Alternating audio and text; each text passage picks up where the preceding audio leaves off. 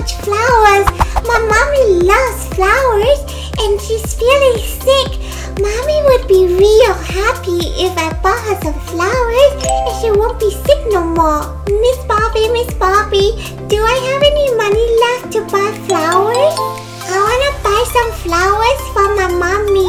I'm sorry, sweetheart. I'm afraid not. If you want, you can exchange the chocolate bar and the bag of chips for flowers. Um, they're about the same price, so if you'd like to do that, I could do that for you. Little Bun Bun, I know that you really like those baby bag of chips, but we need to buy flowers. So do you think that you can give those bag of chips back?